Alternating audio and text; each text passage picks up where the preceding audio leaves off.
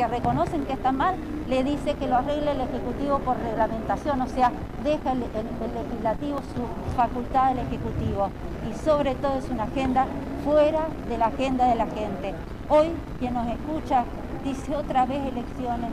¿Y quién me arregla la posibilidad de que yo levante mi negocio que tuve que cerrar y siempre con el tema del contexto de la pandemia? ¿Quién me arregla que yo no me haya podido vacunar porque llegó una sola dosis, porque no quisieron la segunda dosis solo por cuestiones ideológicas?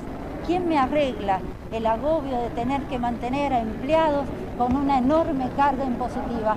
Hay problemas estructurales que requieren gestos de grandeza y de diálogo, que no lo vemos en el gobierno, pero que si el gobierno sabe que tenemos y que tiene la obligación de gobernar por una pluralidad de voces, sabe que tienen estos sanjuaninos esa pluralidad de voces para defender y sobre todo defender los intereses de todos los sanjuaninos.